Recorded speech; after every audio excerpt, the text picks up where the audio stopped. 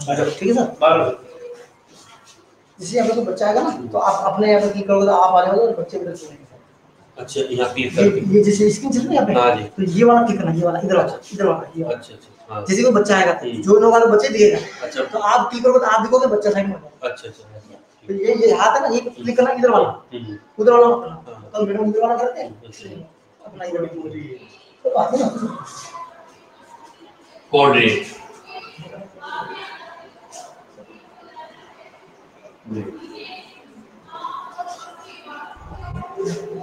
class eleven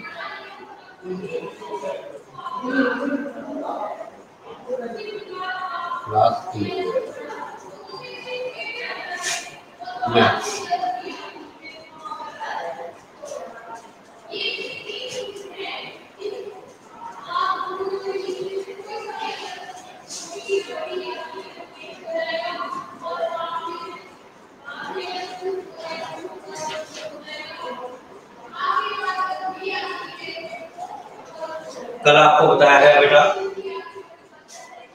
चतुर्थांश और चतुर्थांश में जो बिंदु दिए गए हैं, उनको कैसे प्लॉट करते हैं, ये बताया गया। अब आगे आप देखें, दो बिंदुओं के बीच दूरी ज्ञात करना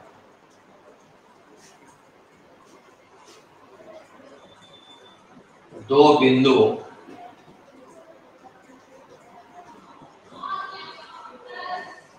के बीच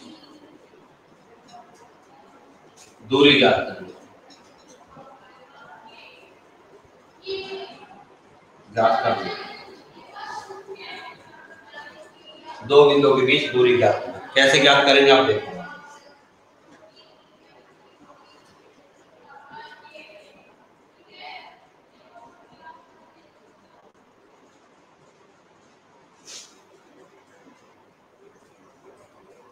ए और बी ये एक रेखाखंड है।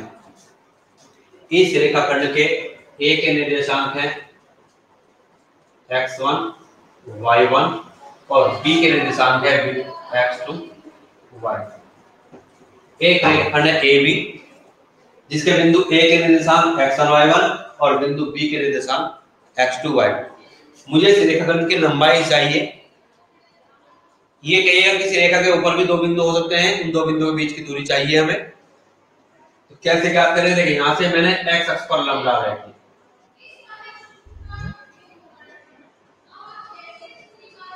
फिर यहाँ से लंबा डाला ये लंबा ये लंब है और एक ये लंब और फिर बिंदु ए से इस पर रेखा पर लंबा डाला ए भी एक रेखाखंड है, जिसके ए बिंदु के निशान एक्स और वाई वन। बी बिंदु के निशान एक्स टू वाई टू मैंने इस बिंदु ए से एक्स अक्ष पर लंब डाला, जो ए एम बना। बी बिंदु से एक्स पर लंब डाला बी एन बना। और ए से बी एन पर लंब डाला तो ये सी बना ए सी अगर आप देखें इसमें x1 का मतलब है कि ये मूल बिंदु है O, जिसके निशान ज़ीरो ज़ीरो इससे यहाँ तक की जो दूरी है। ये ये दूरी है एक्स वन मूल बिंदु से बिंदु एम की दूरी है एक्स वन और मूल बिंदु से ये बिंदु एक्स टू एक्स एक्स पर स्थित है। तो इस n की दूरी जो बनेगी वो मूल बिंदु से ये बनेगी आपकी एक्स टू ये बनी दूरी आपकी एक्स इसी तरह से वाई वन का मतलब है कि एम की जो दूरी है, लंबाई है, ये वाई वन है। और एन या बिंदु वाई टू है वाई टू का मतलब है वाई टू वाई एक्स पर आती है तो ये है वाई टू ये दूरी यहाँ तक आपकी वाई ठीक है? अब देखिएगा। मुझे ए सी ज्ञात करना है। अगर आप देखें ए एम एन सी एक आपका आयत है। और आयत में आमने सामने की भुजाएँ बराबर होती हैं। और जब आमने सामने की बुझाएँ बराबर होती हैं तो इसका मतलब होगा ए सी बराबर होगा एम एन के और ए एम बराबर होगा सी एन के इसलिए आप लिखे चूँकि ए सी बराबर है एम एन के। और तो यहाँ से क्या होगा? ए सी बराबर ए सी बराबर एम एन एम एन और एम एन बराबर है O N minus O M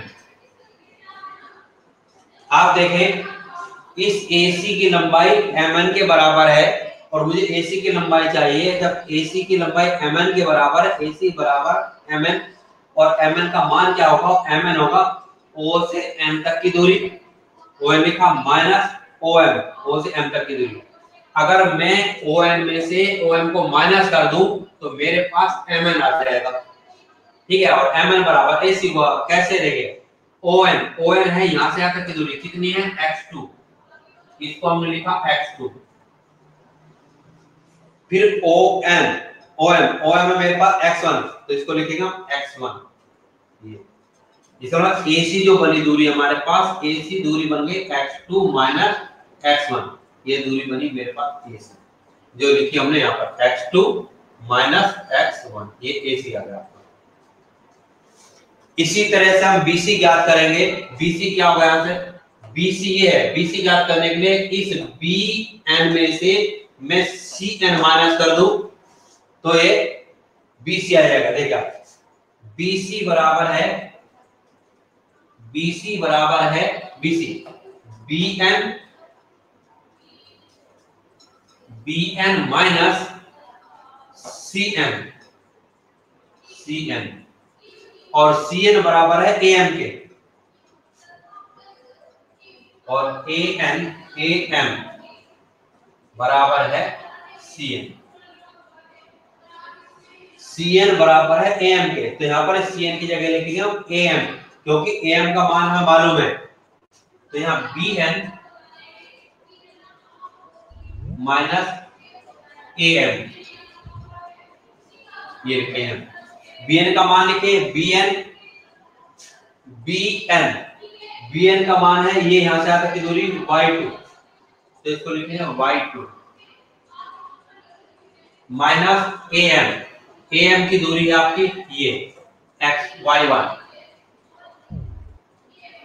Y one अब बी सी बराबर होगा Y two minus Y one ये बी सी आएगा हमें दूरी ज्ञात करनी है ए बी की. अब आ जाए त्रिभुज ए बी सी में. त्रिभुज ए बी सी में। त्रिभुज समकोण है। जब समकोण त्रिभुज है तो बनेगा ए बी का वर्ग ए बी का वर्ग बराबर ए सी का वर्ग और प्लस बी सी का वर्ग।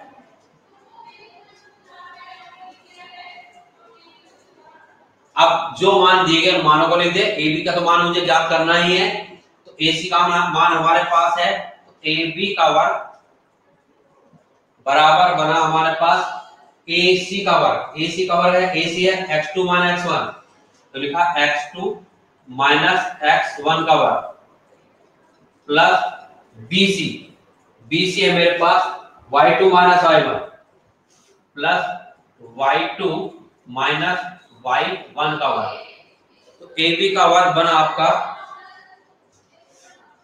X two minus X one का वर्ग ये plus Y two minus Y one का वर्ग बी सी का वर्ग अब यहाँ से ए बी आएगा आपका ए बी ए बी बना under root X two minus X one का वर्ग plus Y two minus Y one का वर्ग ये बना ए बी दो बिंदुओं के बीच की दूरी ज्ञात करना है तो इस सूत्र का प्रयोग करेंगे। यहाँ वर्ग है।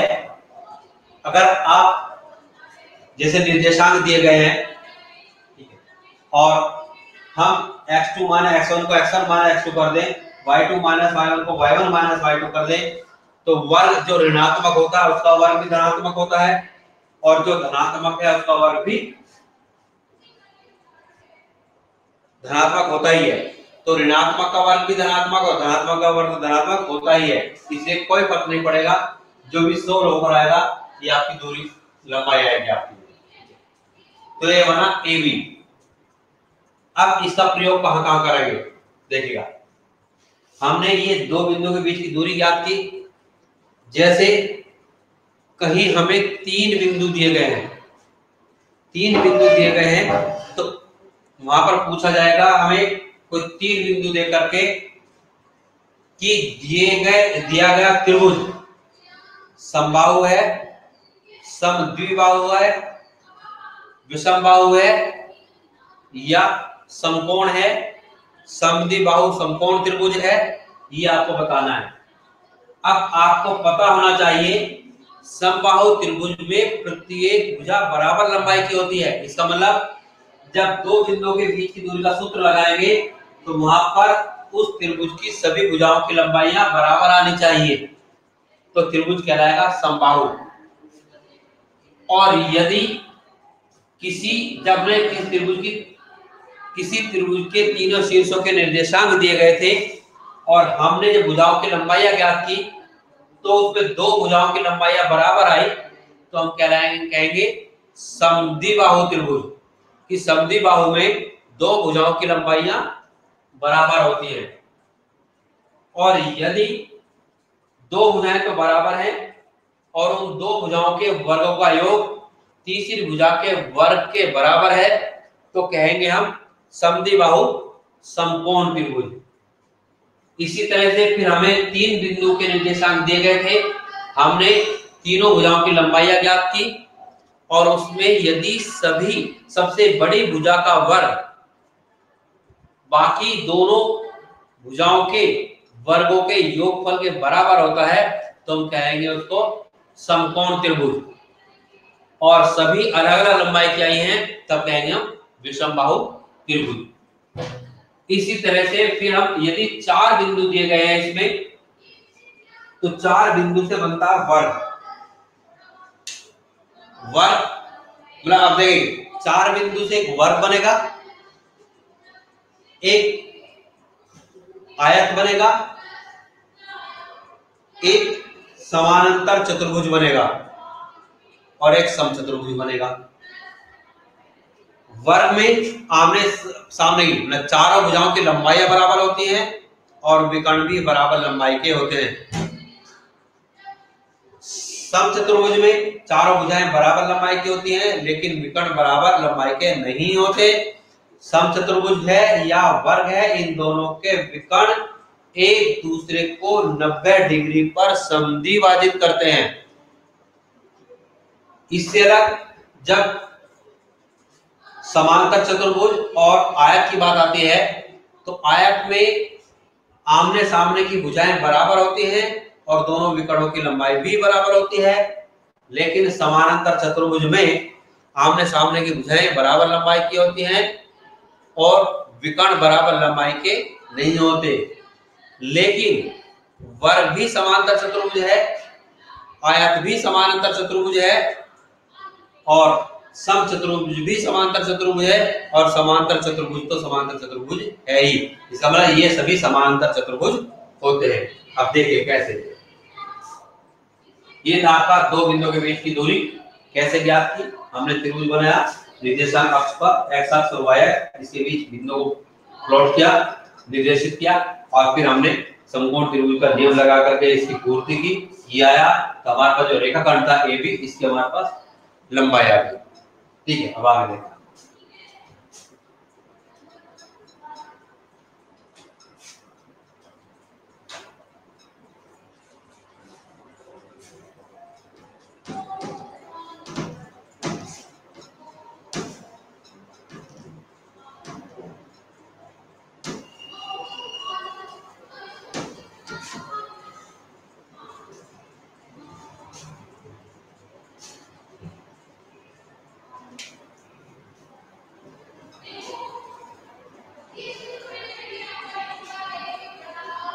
त्रिभुजों के प्रकार।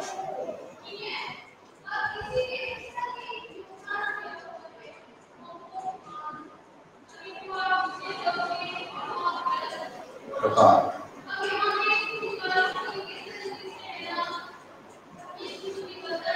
Number one. समबाहु त्रिभुज। सम बाहु त्रिभुज त्रिभुज।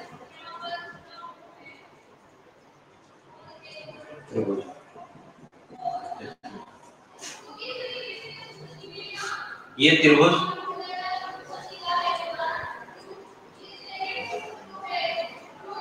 ए बी सी इसमें तीनों भुजाएँ बराबर लंबाई की है।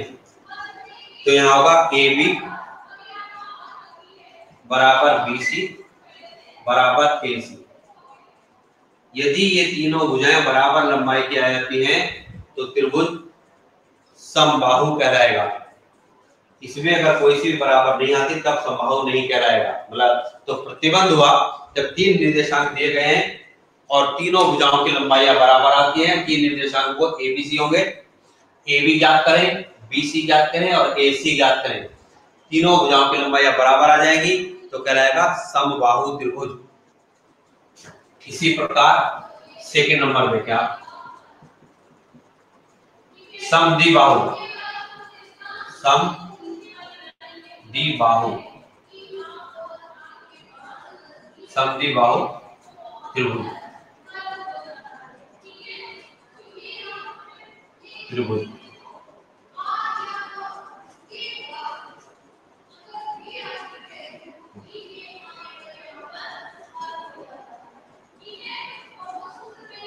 देखिए ए बी सी ये भुजा इसके लंबाई की है।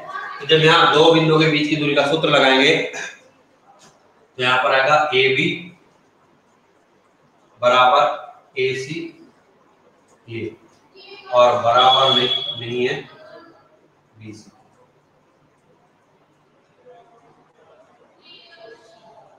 ए बी भुजा ए सी के बराबर है और ये दोनों में कोई सी भी बी सी के बराबर नहीं है।